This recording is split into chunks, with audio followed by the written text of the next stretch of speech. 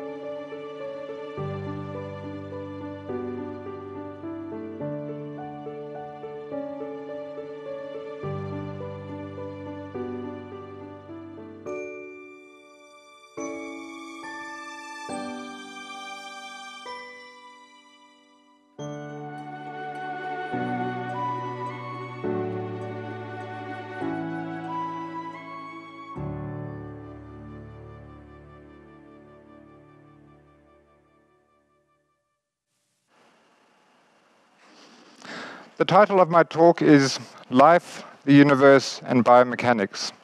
It's pretty bombastic, but I thought this might be one of the few times in my life that people might listen to me, so I thought I'd give it a go. What I'm trying to do in this talk is I want to go through some personal attributes, some characteristics and ideas that I find important, that I've identified in my years in biomechanics as being important for open, original, high quality, and honest science. I'm going to talk about the importance of being inquisitive, how important it is in science and biomechanics to innovate, to be innovative something that's very close to me, that, that is to be international, the importance of internationalization.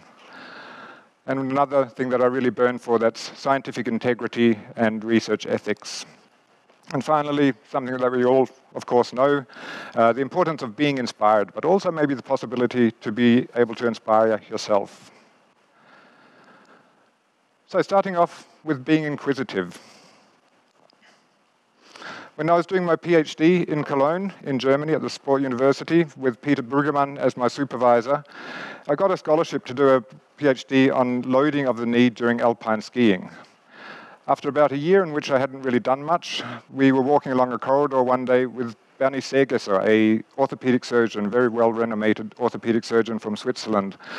And Bernie mentioned that he was surprised or confused why were all the patients that he operated with chronic Achilles tendon injuries, why were most of these injuries on the medial aspect of the tendon? And this just brought up this inquisitive question, why, why should there be something loading or strain or some aspect of a tendon that is more on one side or one part than the other? We've always just thought that the Achilles tendon was one force being transferred from the muscles to the bone. So this just lit a spark, and I was, became really inquisitive as to why this is. As we all know, the Achilles tendon is pretty complex.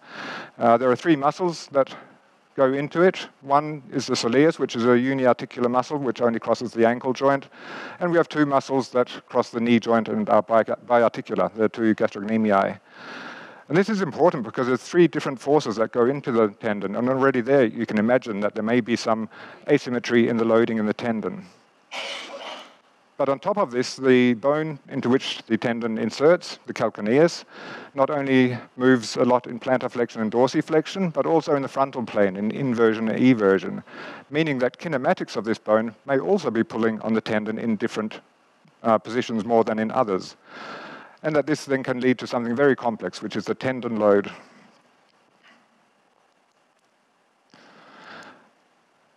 So I started off, and this was in my PhD about 100 years ago, uh, looking at non-homogeneous Achilles tendon loading. And I did a very simple experiment, thanks to some collaboration that we had with the anatomy department at the University of Cologne with the late Professor Jürgen Koebke. I got a cadaver foot, which you see from behind in this image. So it's the calcaneus you're looking at here. And the foot is bolted very rigidly to a metal plate underneath it. We divided the tendon into two, so the medial lateral parts were separated with just a simple cut, and we built some strain gauge-based uh, force sensors, which we put on the medial and lateral aspect. The whole foot and the muscles were inserted in a materials testing machine, which could pull on the three muscles individually or in any configuration we wanted. And just very simply, I'm not going into detail into any results in this talk, but we could see that depending on whether the soleus or medial or lateral gastrocnemius were being pulled, there were differences in the medial lateral loading, and we could also pull on two of the gastrocnemius together or the whole triceps surae as one muscle group. And all of these produce different medial and lateral forces, indicating already there that the muscle forces could produce different loading in the tendon. Thanks to the fantastic network that Peter Brüggemann had, I also had the honor of working with Paavo Komi, whom you only see from the top here, uh, who ended up being a really good friend of mine as well. Uh, and we got to use the, at that stage, very new optic fiber method that pa Paavo had designed and uh, was quite common in his department in Jyväskylä. Uh, a disadvantage with these digital presentations is that I can't have a laser pointer that you can see, but I assume that in the left-hand picture you can see the optic fiber passing invasively through the Achilles tendon. of this subject. It's a very simple idea that there's light going through this fiber, and you can calibrate the reduction in light that happens when there is force on the tendon. So the force on the tendon compromises the fiber and the light is reduced, and you can um, calibrate this to the force in the tendon. And my idea was to build this contraption on the right-hand side here where you could change the knee angle, but the ankle angle was steady at 90 degrees. This meant that we could change the mechanics or the length of the gastrocnemius while keeping the soleus the same length. And we did an experiment where we looked at different knee angles and therefore gastrocnemius lengths and the forces in the tendon and concluded that due to the differences in the muscles forces that were possible, there were also non-homogeneous loading in the tendon for those parts responsible for tr force transfer from soleus and gastrocnemius. But we didn't, we couldn't localize them because the optic fiber, I don't think, ever got used with more than one in the tendon at one time. So we couldn't actually look at different areas of the tendon. I've continued with this work, as Alberto mentioned, uh, using a new method called speckle tracking, ultrasound speckle tracking, which actually comes from echocardiography, and a few years ago was still relatively new to use in musculoskeletal applications. But we thought we would try this on the Achilles tendon, and you can see the setup on the left, quite simple, a normal ultrasound probe um, put on the Achilles tendon, and the foot firmly attached to an isokinetic dynamometer, which did a just a simple dorsiflexion, plantar flexion movement. Uh, you can see the EMG electrodes on the muscles there as well. The idea there was to control that they were completely passive. So this was a passive movement of only just kinematics. So there's no muscle forces, well, minimal muscle forces involved. The picture looks something like the one on the right that you get from the ultra, ultrasound where you can see the Achilles tendon placed between the subcutaneous tissue and the skin on the top and the soleus muscle on, underneath it. And just to orientate you a bit more, there's the superficial part then and the deep part of the tendon, which I'll be talking about in the next couple of slides.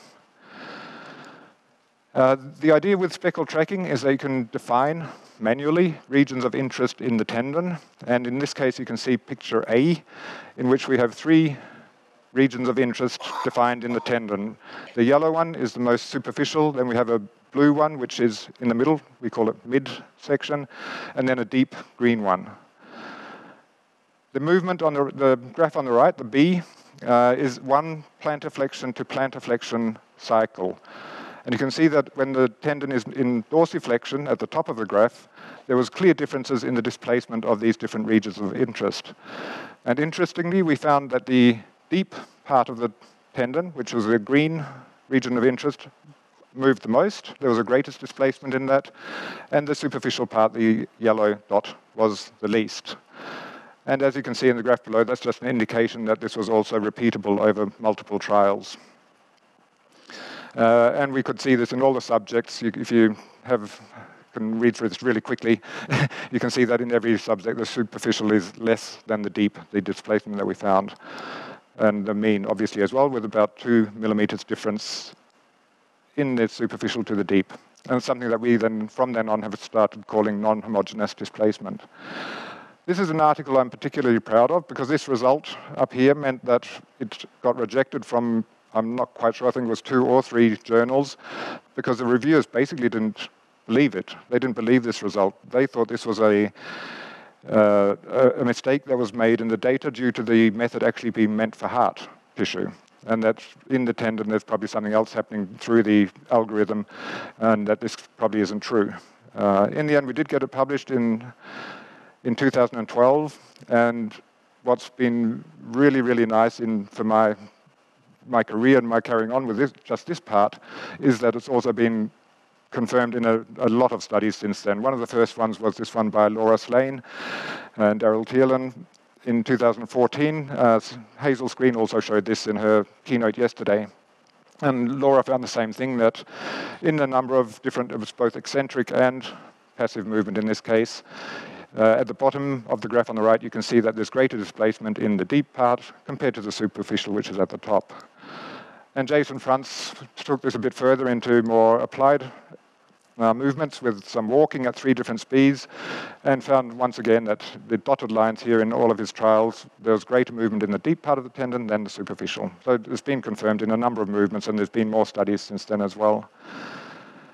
Interestingly though, uh, Laura Slane also looked at not older, but at least middle-aged people compared to young people, and found that the non-homogeneous displacement, the non-homogeneity in the tendon, was less in the middle-aged people compared to the young.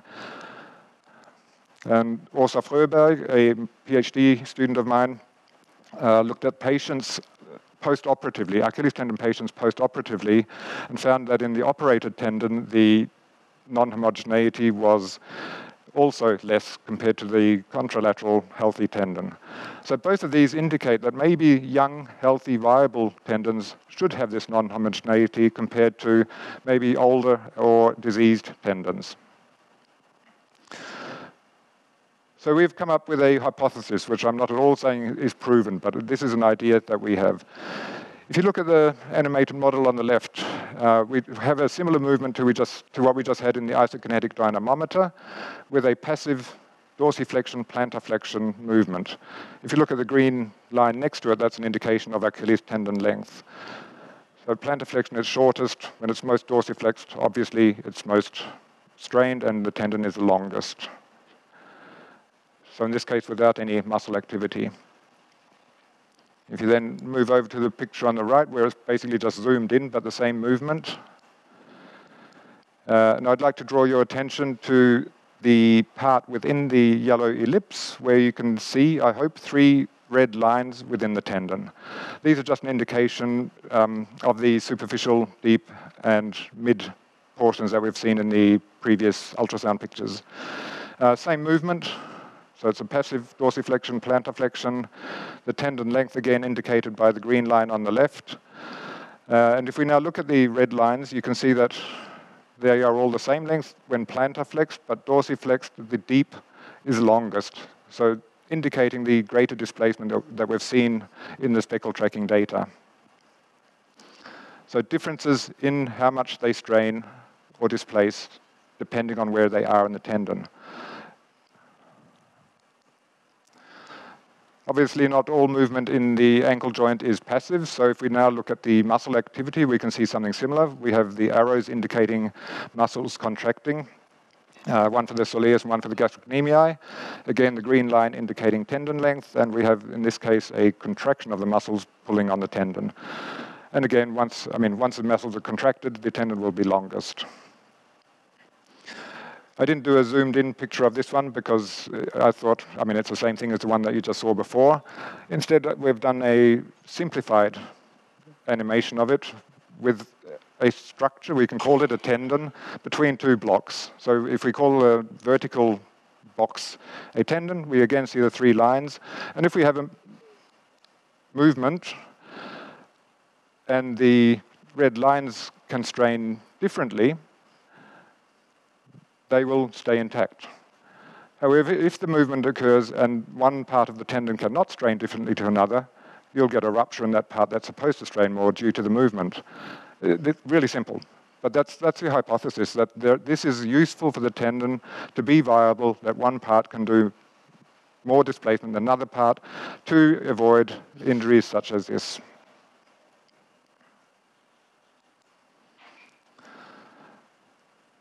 So it appears that it's important for the Achilles tendon that there is this non-homogeneity. And this has been found in a lot of studies now, as I mentioned, and in different activities. The importance and relevance of this is pretty poorly understood still, but there's an influx of studies coming now. I just saw one in the last oral session uh, in Jason Franz's group, so uh, there's a lot of work going on with this now. And they, they do show this gliding between parts of the tendon, as also shown by Hazel yesterday. But there is an indication that this non-homogeneity is impaired in older people and post-surgery. So we propose as a hypothesis that non-uniform deformation provides a biomechanical advantage to the tendon. And this may be useful for injury prevention and maybe even for performance, but there is still a lot of work to be done.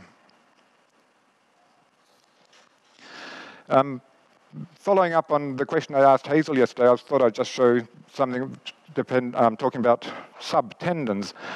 I, I strongly believe that in Achilles tendons in humans there aren't subtendons, because what I was talking about is that, I mean, we have muscles attached here. This is a human Achilles tendon. The soleus muscles are attached here. No, that's the wrong way around. Gastrocnemius here, soleus obviously here, and they pull on different tendon plates.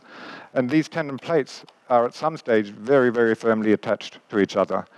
And I can follow just visually a fiber from the muscle down to the, uh, to the calcaneus, but there's just no way I can actually dissect them apart. So I agree with that there's sliding and that there's different parts of the tendon displacing more than others, but I debate using the term subtendon for this, in humans at least. Just thought I'd mention that. We can talk about that later, Hazel. Okay, so the importance of inquisitiveness in science. In my case, I was looking at, because of what Bernie Segesser said, I wanted to see if there's asymmetric load. I, I was just curious. And we just did it at the start to see whether there are regional differences in different parts of the tendon. And now, 20 years later, there's strong indications that this is relevant, both functionally and clinically.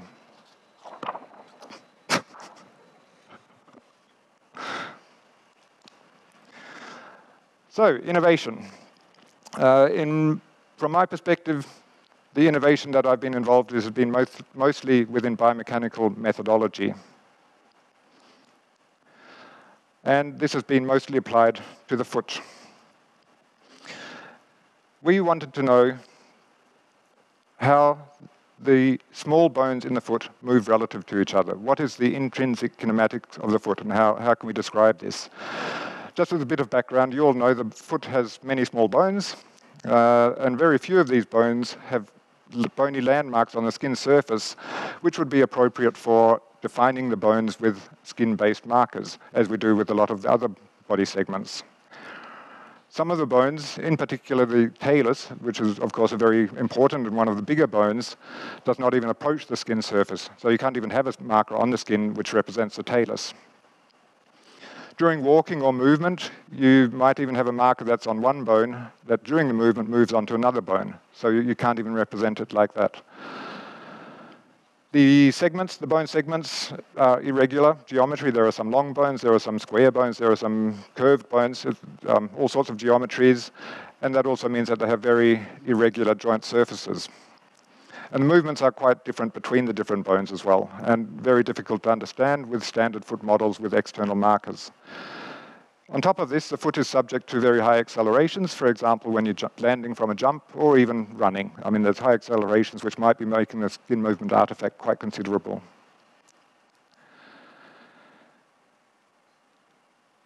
When I came to Stockholm as a postdoc, that was thanks to Arne Lundberg who brought me here. And Arne was a completely, or is a completely fantastic orthopedic surgeon with a huge scientific interest. Uh, and he had had an idea for many years, after discussions with a lot of people, including Ton van den Bogert, about inserting metal pins into the bones, because then you could represent exactly the bone that you want to look at. And you could still use skin mark, uh, you could still use markers, reflective markers, but not on the skin. You could have them directly anchored into the bone. So I'd just like to show you a quick video of the methodology that Arne came up with. Is there a doctor in the house?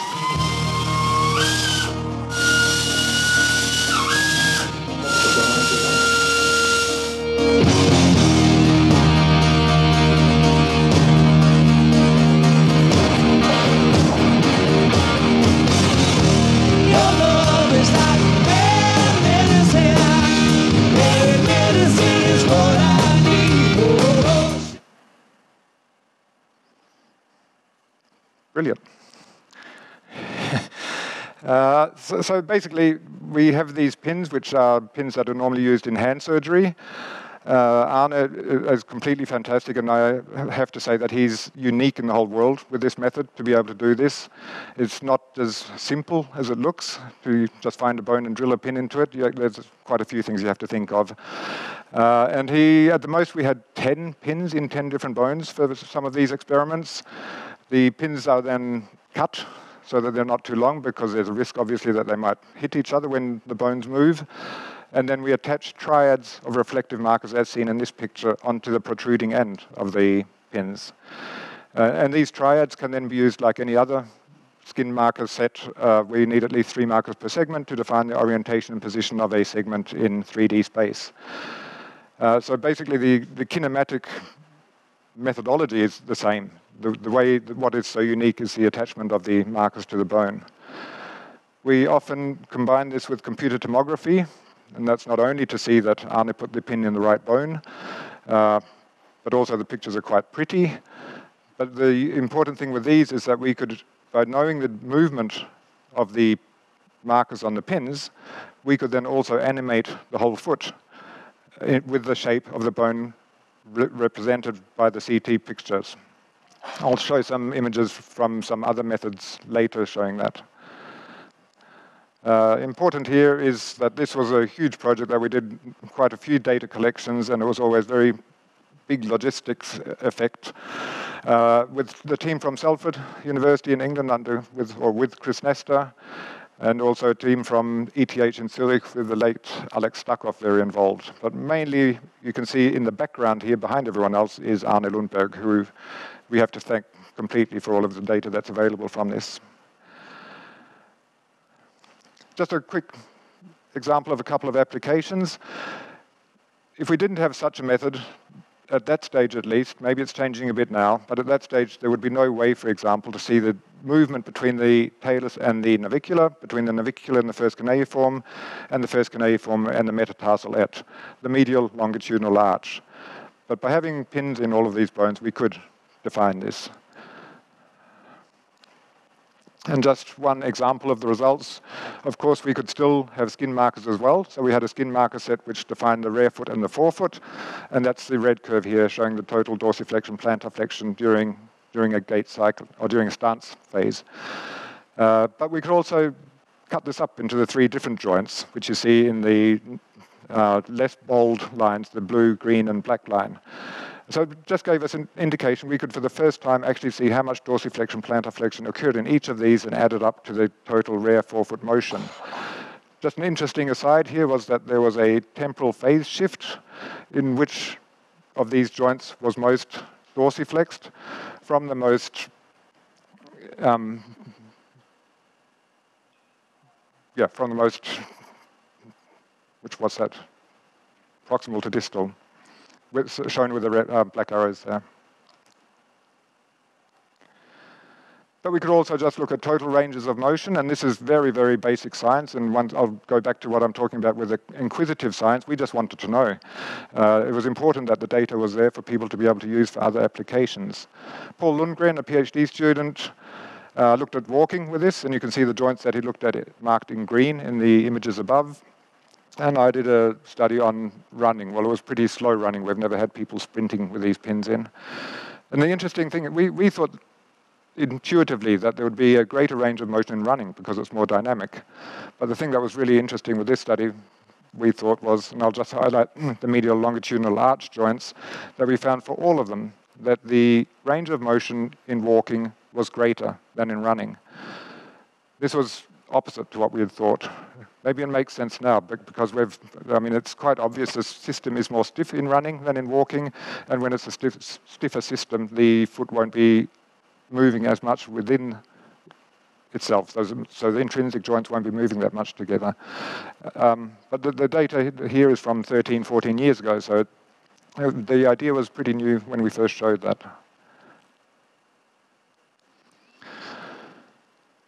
Another method that we were using, or Arne used for his PhD thesis, was RSA, radiostereometric analysis. A similar idea. Um, it's also invasive. You insert small metal, which are made of tantalum, beads into the bones. Once again, three markers in a bone means you can define its position and orientation in 3D. And so Arne could insert these beads into whichever bones we were interested in with an injection mechanism. So the bone, the markers are actually firmly implanted within the bone. Uh, I'll just, once again, digital, I can't show with a laser pointer where these beads are, and in case you can't see them properly, I've done it a bit more subtly. they're there. And the idea, the reason why I'm showing, I can go a little bit more into detail. Um, this method is based upon X-rays, so you need a double X-ray setup. You take a still picture of the foot, then you move the position of the foot and take another picture. And by having these two pos positions, you can do, for example, helical axis rotations between these two images. So you're not actually showing the movement, but you're showing what's happened between the pictures. So it's a quasi-dynamic setup, as we call it. But the most important part with this picture is that I have these markers in my foot, so I think I've got 29 in there, and they stay in there. And that meant that Mike Rainbow, who's now become a very good friend, at that stage I think he was only interested in me because I had markers in my foot. Uh, but they've got this fantastic new lab laboratory in Kingston in Canada uh, with a double X-ray dynamic system.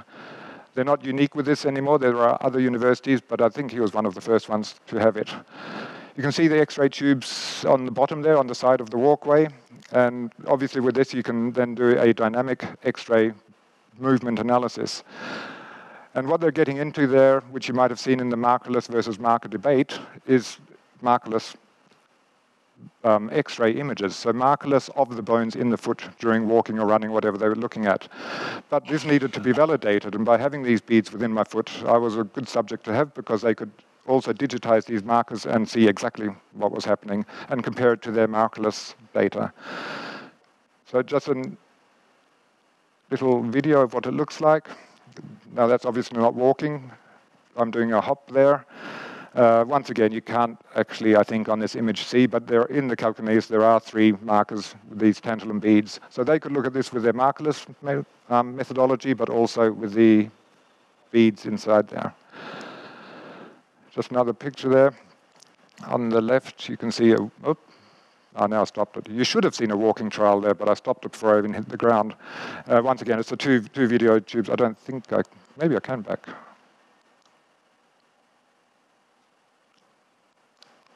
Oh. Uh, you would have seen the two X-ray images of, of me walking through the field of view. On the right-hand side, what I was talking about earlier, the possibility of using computer tomography to also then see, see the shapes of the bones during this motion. And this is what they then use for their markerless uh, calculations of, of kinematics or whatever they're interested in, in the foot. Uh, I'm really excited that Lauren Welte, who was working with Mike at that stage, has just recently published the first paper out of this data, and there's hopefully lots more coming. It's a fascinating data set, also due to the fact that there are these marker beads in there, in, in the bones. This is probably unique. I don't think I've seen any other presidential lecture where the president shows him or herself in underwear, but I've thought I'd show this anyway. Uh, this is again the same setup, but this time I just want to show that they're also working with knee work. So I'm doing a lunge. And the field of view is extremely small, which is a disadvantage of this method. You really have to hit exactly the right space where the two X-ray tubes are, are located, uh, which you can see here. The two X-ray views. If you look on the right-hand side, I wasn't allowed to go further forward than that because it would have gone out of the field of view, so it was pretty difficult. Uh, but then also, once again, the final product is then a video of the actual bone segments uh, showing the rotations, and this could again be validated because I happen to have beads in my knee joint as well.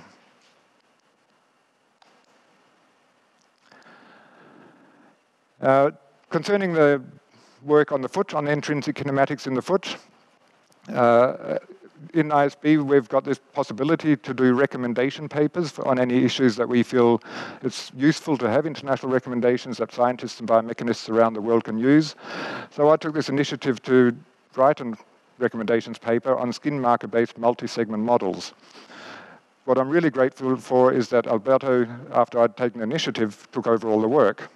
And we ended up publishing this just really recently, a few weeks ago. Uh, because it's, it's useful, there are so many foot models, many labs use their own model, and it's sometimes difficult to talk to people and know whether the results are comparable, and it's hard to compare to the literature sometimes.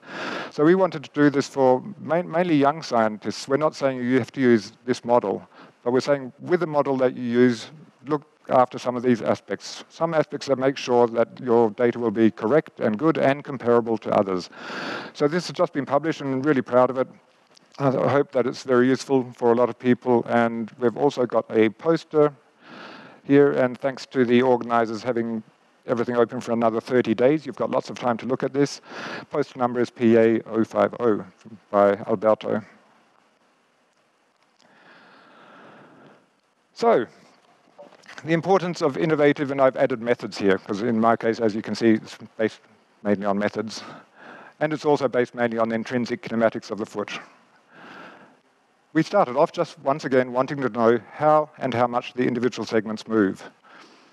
But now it's been cited a lot. A lot of this, especially Paul Lundgren's walking article, have been cited uh, a lot for, for, uh, compared to most of my other articles anyway. Uh, because anyone doing foot modeling needs these data to be able to compare, and it's also got clinical relevance if people want to use the data to look at that. And along the lines of what Scott Delp said in his keynote, these data are available. People have contacted us and want to use the data for some other questions, and you're welcome to do that. I mean, the data are still available, and Peter Wolf had a presentation now, which was a new, new aspect of the data. So, yeah, it's still there. And it's fantastic because it was so innovative. It might be outdated now because the work being done with dual X-ray is getting better and better, but it was definitely very unique data.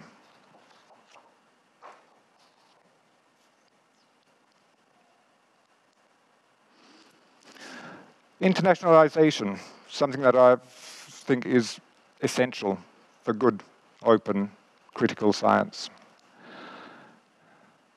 This is my journey abbreviated a bit. I'm Australian.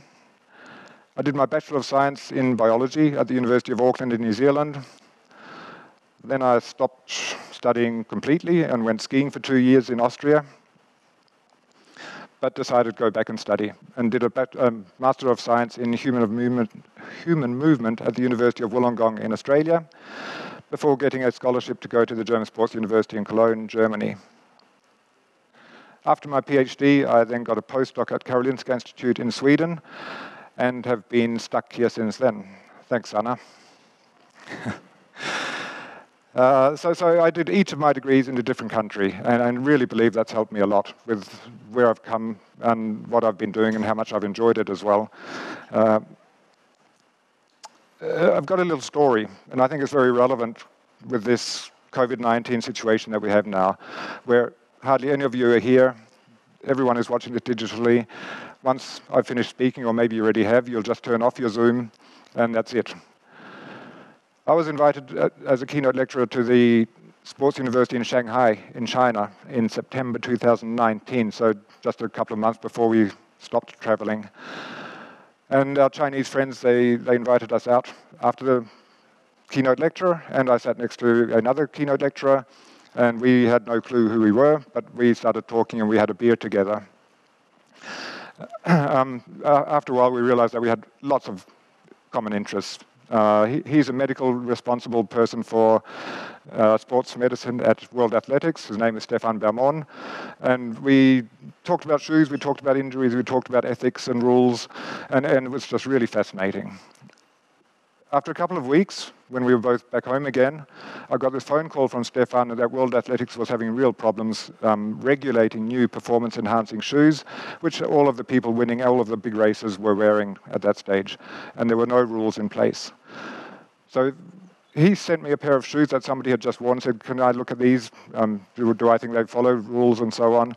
And for the next few weeks, we tried to word some rules, and they were put into the World Athletics rules for what people are allowed to wear since then, or I'll cut a long story short, at the moment, anyone that breaks a world record in track and field has to send their shoes to my office and I see if they follow the relatively simple rules that World Athletics has at the moment. And that would not have happened without that beer with Stefan in Shanghai. And I, I think that's really indicative of how important it is that we actually meet properly. It was completely random, but wouldn't have happened with the way we're doing a meeting here this week in, in Stockholm or digitally. So uh, just an indication, I think it's imperative that we start getting back to that when we can. There may be possibilities to combine with digital, but we definitely need this personal uh, meeting space as well. Uh, just a little continuation of that. There's now some work going on to maybe make these rules a little bit better, a bit more applicable. And I'd like to thank the cooperation of Lainey, who you all know here, and also Stefan Hallström from uh, the Royal Institute of Technology in Stockholm. So together we're looking at maybe developing methods for better regulating shoes. But here I also, of course, have to mention the International Society of Biomechanics. Without the conferences and the friends and colleagues that I've met during the conferences, I mean, I just don't think biomechanics would be anywhere near as much fun or even on my modest level as good as it is by meeting these people. I've been at every Congress since 1993 in Paris. Uh, I was Secretary General from 2008 to 2015 got elected as president 2017 and have been president till, until yesterday when Alberto took over, took over. So it's been a long time and a lot of involvement there, and it's just been the highlight of, of what I've been doing. It's just so much fun, and I really recommend everybody to be involved in the ISB and hopefully meet up in Japan in two years' time and continue this fantastic group, this fantastic community and family that the ISB is. So quick, quick summary of internationalization and why I think it's important. I probably need a button. I think it's I think it's probably the most stimulating way to get into any research. I have my ideas, people in my group have their ideas and we, we talk about the same stuff the whole time. But if we don't get somebody from outside or move outside to talk to somebody else or work in another laboratory and see the methods and techniques that they have and their line of thoughts, then I don't think we get anywhere near as stimulated. It helps us to expand. We have our methods, but I, I don't have any of the methods, for example, that Mike Rainbow and his group in Kingston have. And by going there, I can expand my arsenal of, of methods, what I know, what I understand, and of course also the data that I can get and the questions that I can explore.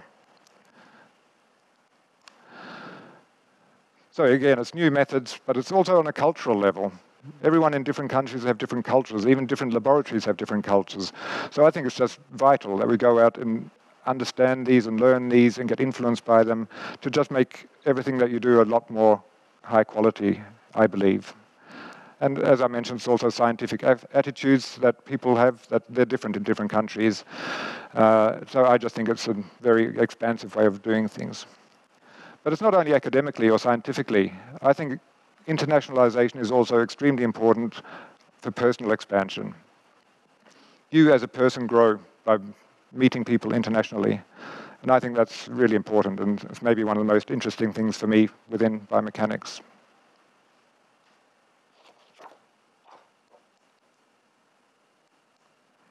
Integrity. This is a big one. I mean, we could talk for an hour just on this, or, or lots more than an hour. Um, for me, integrity includes research ethics, but also academic misconduct or scientific misconduct. And these are two things that I've been quite involved with, uh, especially from the perspective that when we first started showing our bone pin data with the invasive bone pin method, a lot of people sort of laughed and said, yeah, but you're from Sweden, so of course you're allowed to do that in Sweden, but we can't do that. And I, I, I disagree with that. We are in Sweden, and we can do it in Sweden, but that's because we have Arne, not because of the research ethics boards. Because research ethics is based upon a evaluation of risk versus benefit. And if we can see that the risks in our bone pin methodology are not particularly large, and we can show that from experience. We've never had an uh, infection or we've never had any other complications due to this. Then the benefits are obviously bigger because it's great scientific data and then there's no ethical problem there. So I, I, think that's, that's when I got really interested in this because people were often saying that at conferences that um, it's great and it's unique, but that's only because you're the only ones allowed to do it because you're in Sweden. Um, so that, that was around the start of the year 2000s, and from 2007 I've been on the National Ethical Review Board because of this interest that was that's grown since then, uh, and have been there for what's that 14 years now. So really experience also how ethics has become more and more important because a lot of scientific issues that we've seen. If this wasn't digital, I could see all of you now, and I'd ask you to raise your hand if you know who this is, but I can't see many of you. There's actually four hands up here, so oh, that's fantastic.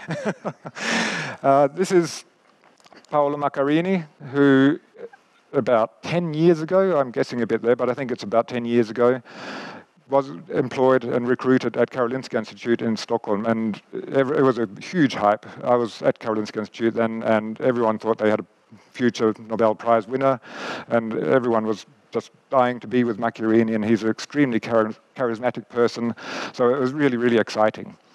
And what, what he did, and what he was famous for, is that he had bronchial tubes, or he, he operated on patients with cancer of the bronchial tubes.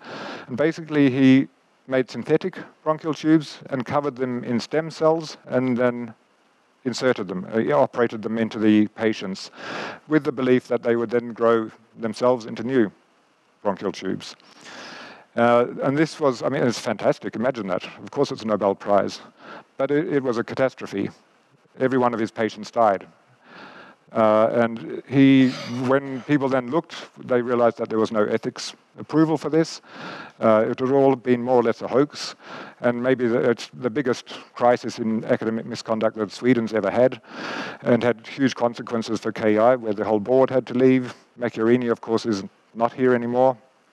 Um, interesting story is he, he had a very, very high opinion of himself, and he'd promised his wife that he would get the marriage would be done by the Pope, for example. Uh, apparently, the Pope didn't know about this, though. They actually asked him.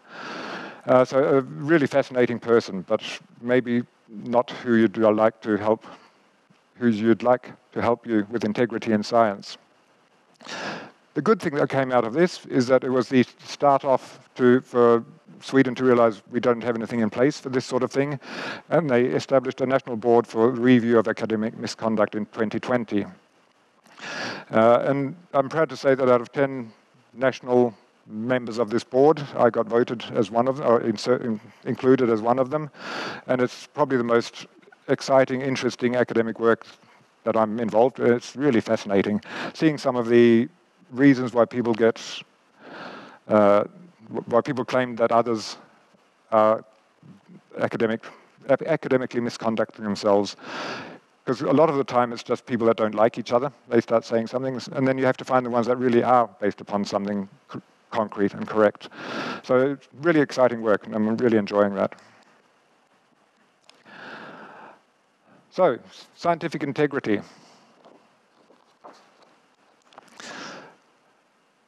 If you're talking about research ethics, I think it's important to go back to the basics. If you look at risks versus benefits, of course there's other things involved as well that you have to look at, but that's the main one. And if the benefits are larger than the risks, then you're on a pretty good, on, you're pretty much on the road to fulfilling research ethics. I won't go into this too much, but the, the definition in the board in Sweden for academic misconduct are that you have falsified, fabricated, or plagiarized work. Uh, and I think that's pretty international. There are other things you can do as well. I mean, there's lots of ways you can be academically incorrect, but this is what the definition is.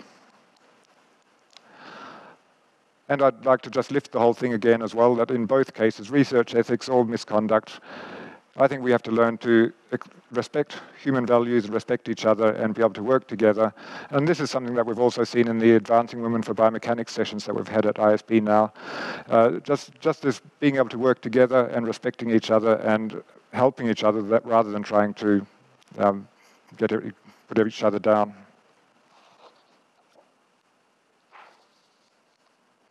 Finally, this isn't new for anybody. Of course, you've been inspired by lots of people. Hopefully, you can also inspire others. Uh, I'd like to come with a quote here. It's from Sir Isaac Newton. He said, If I have seen further, it is by standing on the shoulders of giants. I should actually be quoting Joe Hamill here, because he was the one that said this about three nights ago. Uh, but I, I, brought it up from Sir Isaac Newton because I think he said it a little bit before you, Joe. uh, I'm not claiming that I've seen that far, but I, I, could modify it a little bit and say if I hadn't been allowed to stand on the shoulders of giants, I wouldn't even have seen this far. And I'd just quickly like to talk about a couple of giants. I mentioned my Master of Science uh, in Human Movement Science in Wollongong. And that was together with my supervisor, Peter Milburn, at that stage, and Julie Steele, who was co supervisor, but I'm not actually sure if that term officially exists, but she was helping the whole way through the project. And they really got me into sports science, which I'm so thankful for.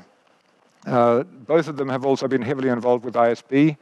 Peter was on the council for a long time, and Julie was both Secretary General and uh, President of ISB, and has followed me, and well, we, we still have contact very often, and they, they just really inspired me into this field.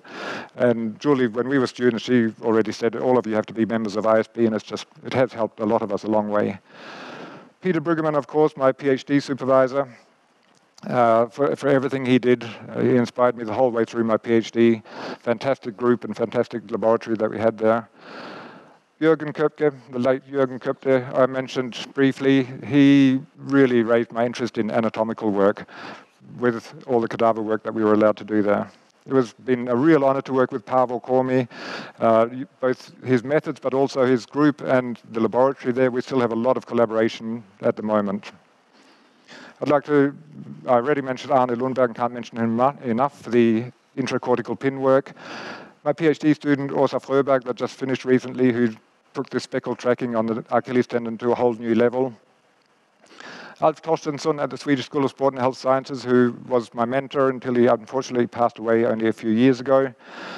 And then there's three men there, three people that have just inspired me the whole time. Uh, first, I was pretty scared of all of them because they're just such big names. Uh, but all of them have helped me in, in different ways and inspired me, and maybe especially Joe, who's sitting here now, who right from 1995 when I was doing my PhD and we had the footwear biomechanics group in Köln, has followed my career and helped me and was the past was the past president until I became it yesterday. So thanks thanks a lot for that, Joe.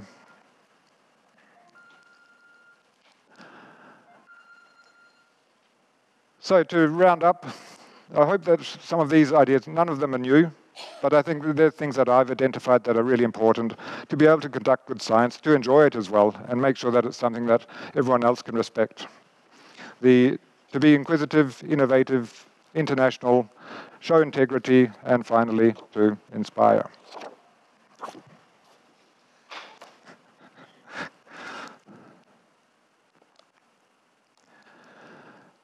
Just another couple of quotes to finish off. I'm getting into this with quotes.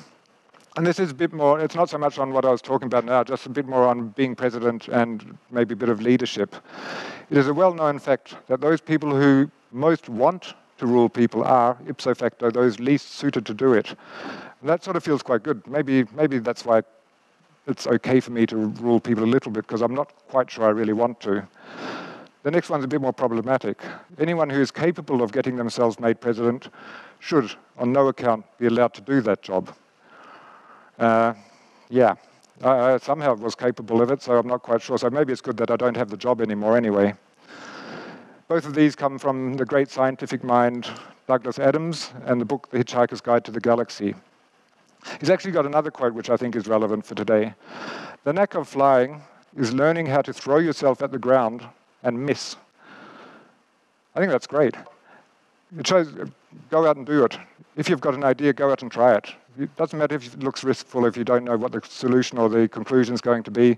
Give it a go, and then on your journey, you can try and learn how to miss the ground. Very finally, tonight we should be at the ISB banquet. It's planned, that was on the program, we had it all booked and everything. Unfortunately, we're not having a banquet, but last night a few of us at least went out to dinner, and we had a lovely dinner. It was brilliant weather, has been all week. Uh, as we promised in Calgary, we were going to have good weather this week. Uh, and the people we, that were out for dinner had a great time, and it was really beautiful, and it's just a shame that all of you couldn't be here. But Alberto, our new president, was there, and you can see how happy he was about that. So thank you everybody for listening. Thank you ISB for having me as a president, and I wish Alberto good luck with the continuation. Thank you.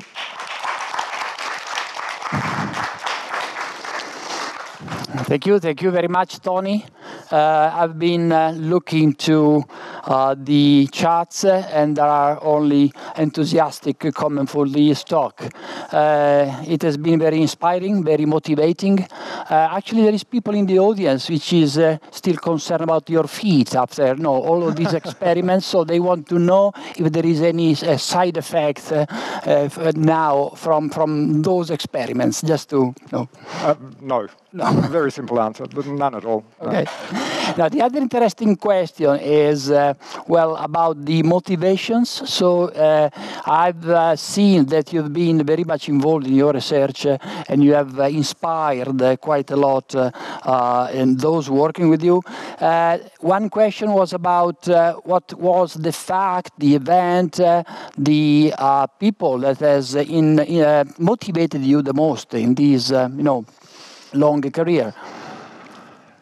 I'm not quite sure I'd like to lift one person out of that whole list, because in different ways they all have. I think maybe the one that I grew most under was Peter Brueggemann, because I think for many of us it's a long time that you do your PhD, and you're a long, it's a long time that you're stuck with, with your PhD supervisor. And I'm very fortunate to have had Peter, and I think that's where I, it was the steepest learning curve I had was during the time with Peter Brueggemann, and he's, he's still a good friend now, and so he's been very important for me. Okay. I think we uh, want to thank you very much for your you know, lecture. We've been amazed about uh, your story and what you have been uh, achieving. Um, there is a, an acknowledgement from the organization for your for Thank your you very lecture. much. Thank you. Thanks, Alberto. Thank you. Thank you.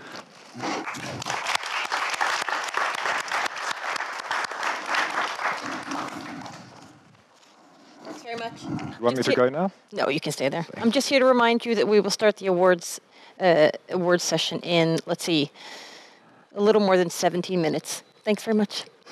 Thank you.